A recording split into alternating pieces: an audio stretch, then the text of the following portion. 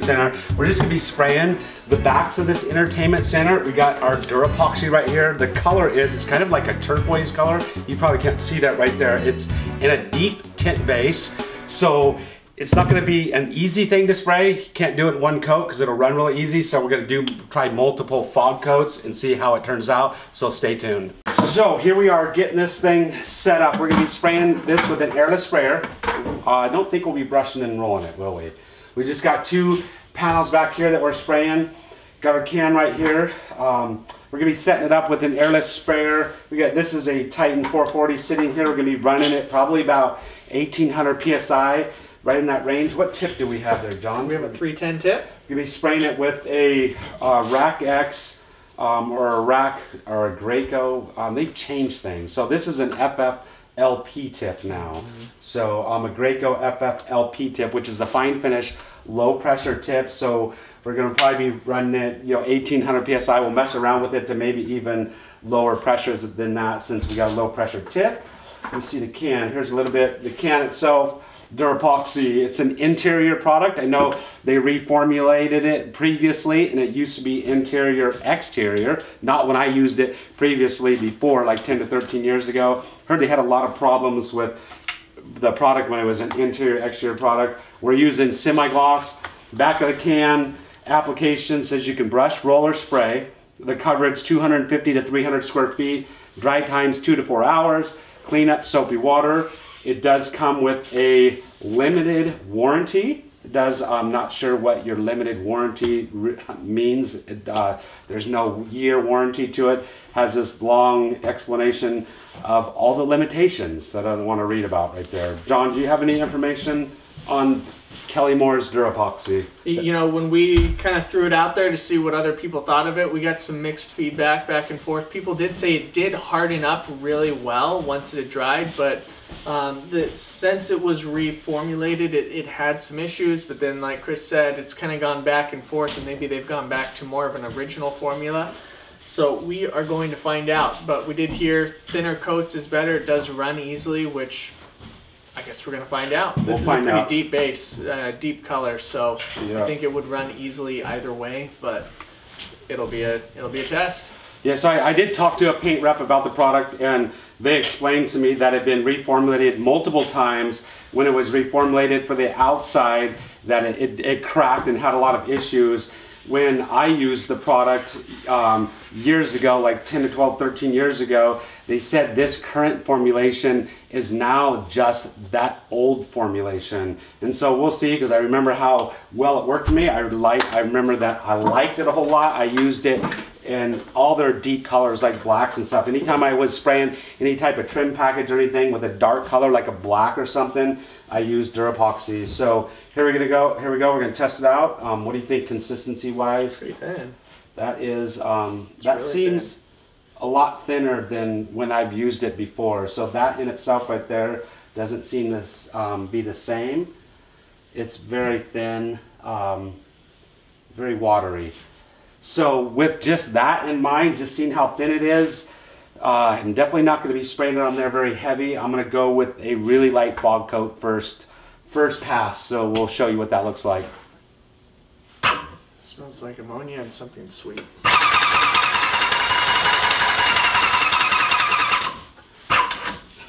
Smells like, uh, got to smell some um, ammonia. It's interesting. John smells something sweet too. I definitely could smell some drying chemicals in there.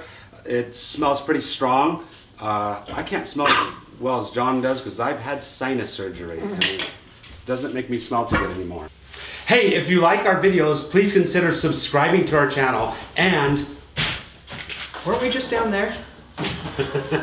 we, we were just down there. Please consider. How did we get up here? I, I don't know. It's, it's magic. Please consider giving us a thumbs up if you like our videos. Also, if you got any comments, tips, or tricks that you want to share with us, leave them in the comments section below.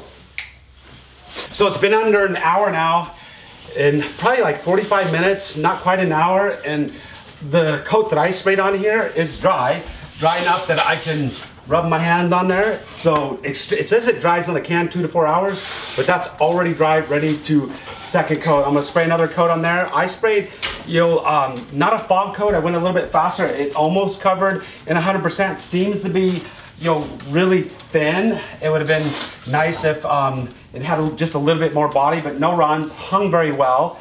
And John sprayed a lot more uh, or went a little bit slower on his, so he got a lot more paint on there. His almost covered, you know, in one coat. Possibly could have got away with shooting it with one coat. But I'm gonna spray the second coat on here, and we'll show you what that looks like. I'm gonna go just a little, about probably about the same speed this time. But uh, I would say, I mean, for the color it is, this deep color, I think that the coverage is excellent. That's probably like you know five star coverage with that stuff. So so far, pretty impressed. Pretty impressed with the dry time. Here we go. Always wear a respirator. And let's go.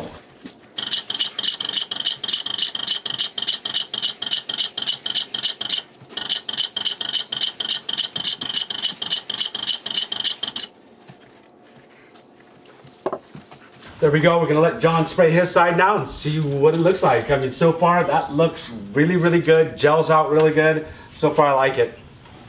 So Don, looks like you're experiencing some taping issues. You got to retape yours before spraying it. You can yeah. tell us what's going on here.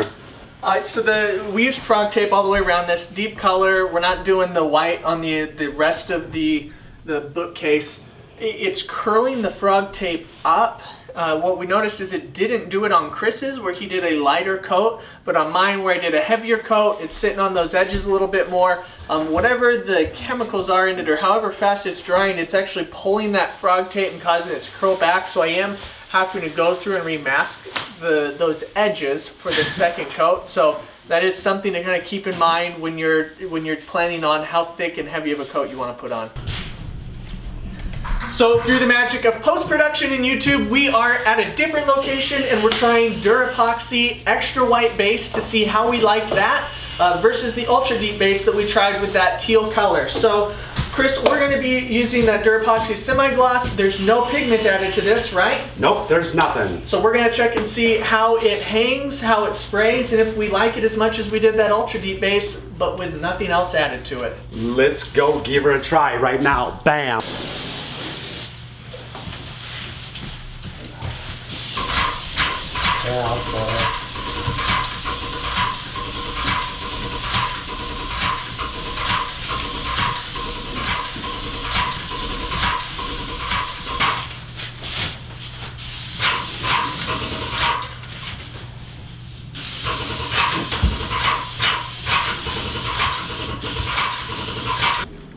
Okay, here we are, John.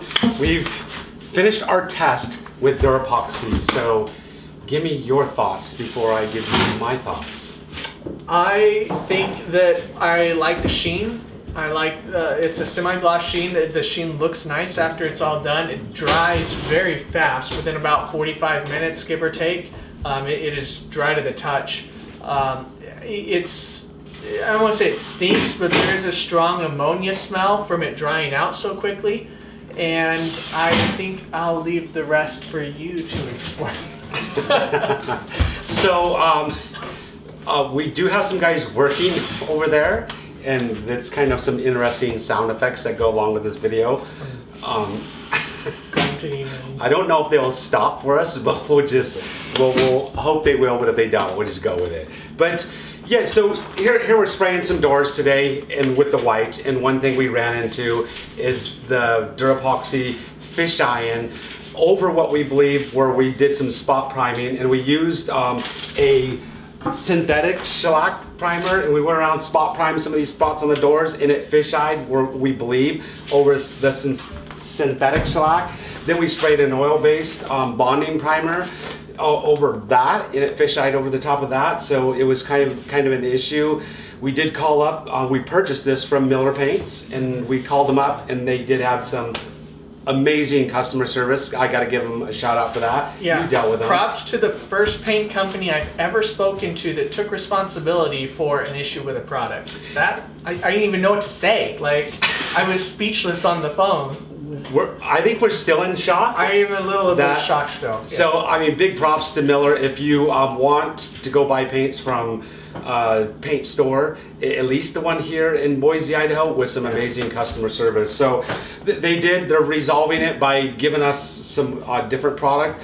But you know, with that said, that aside, this fisheye, they said that I think it was resolved. Yeah, so they were under the impression from Kelly Moore that, that the fisheye problem had been resolved. So it was a known issue. That's that's our paint coming. So that it was a known issue and they've um, pulled those lots off the paint and they've resolved it and they said that these lots were resolved but apparently it's not. So um, um, and they want the paint. So we're gonna have to give them the paint.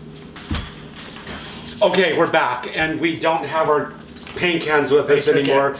They took them. Miller Paint came in here and took them. So we don't have them no more. So um, anyways, some of the things I do like about the product. So we just talked about the fisheye, which, um, you know, just be aware that that's there and um, you, there, you could run into that problem until they get all the batches out. But I really like the dry time. This stuff dries really fast. And I do like the finished look of it. I like the sheen and I look how, like how the paint looks, you know, the dried look. So this one has got to be resprayed, so that's not a good example. But um, anything you like about it? Yeah, like I said, I, I like the sheen. I like how quickly it dries. I like how it does level out beautifully. Um, what we've heard on like Facebook and Instagram is that it does it touches up well. Um, that there are a lot of people that like using it. There were a couple comments about that maybe sometimes it, it feels a little sticky afterwards. I haven't seen that with what I've been using, and, and we've used um, both the deep base and a really deep teal that had a lot of pigment and a white that was just untinted. Uh, what I will say is the untinted white was a it was considerably thicker than the deep base teal, but there was a lot more pigment added to that one. It was extremely thick, and I, the first door I sprayed with it, I sprayed it pretty heavy.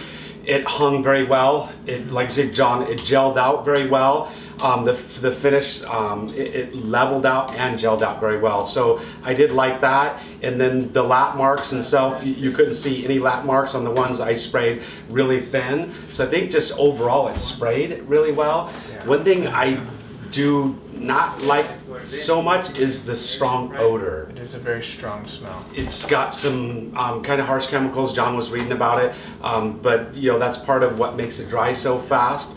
And so I was wearing a respirator the whole time, a charcoal respirator, and I don't have a problem with it there. And yeah, we sprayed it in, in here about maybe an hour ago or so, and the odor's not so bad now. But when you're spraying it, it's extremely strong.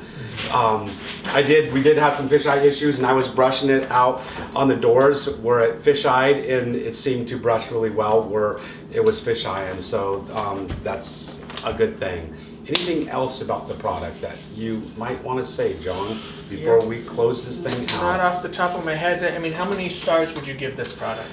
Okay, it's time for our star rating, John. We had the, the opportunity to spray it one more time. You sprayed white on some uh, piece of um, beadboard down here that had a bunch of Bondo on it. What did you think of the coverage with that? I thought the wet hide was great, but that's not enough. It's got to have a dry hide too, and it just didn't have a great dry hide. Now, to be fair, we are using an untinted white base with some L4. If they added some titanium, something like that to it, that might take care of the issue. Might have a little bit better of a coverage.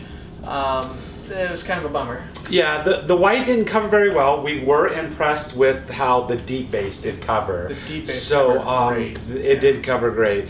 So, um, but we got the two different bases there, and I don't know if they have like an ultra deep base or not, but we haven't tried that. If they do, so it's time to give it a star rating. I think there was one other thing, uh, the dust that the paint created. I think the dust that it creates is. Um, Probably sig- maybe significantly more than what we're accustomed to, or Yeah. a little bit more. Yeah, and some of that, you know, we could dial it in. We were using a Graco fine finish low pressure tip, so we were running probably around 1200 psi with the tip we were using, which did help with some of the dust, but it definitely was dustier than some of the products we've used, most of the products we've used in the past, in my opinion.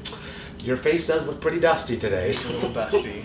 So, John, um, why don't you go ahead and start it off with a star rating?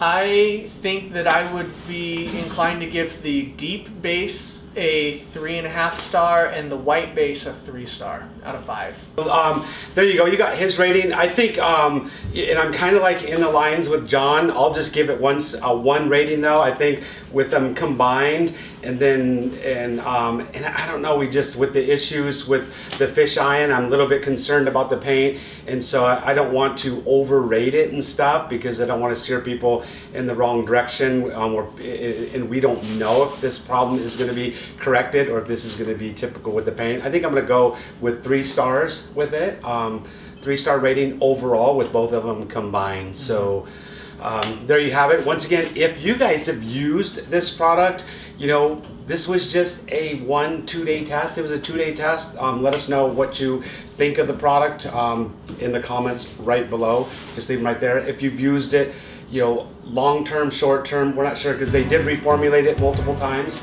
So um, if you've used it, with, especially within the last year to two years, we would like to know what you think about it. That's how we learn. Yep. And if um, it's over. And we can actually dub the rest of that other video at the end. Yeah, and this is a kind of a semi-regional product, right? I think they're Yeah. pretty big on the in California, kind of on the west coast. Um, obviously, northwest U.S. So you may not have ever even heard of it in your area, but if you have, like you said, let us know, or let us know on Facebook or Instagram. You can catch us there. Idaho Painter on Instagram, the Idaho Painter on Facebook. We would love to get your guys' input because as a Paint Life community, that's how we keep learning too. And if you want to learn more, go check us out on our website, theidahopainter.com, where we got all kinds of tips and tricks. And we got just a cool store. Hope you guys enjoyed this video. If you have, we'll see you on our next video. Ow.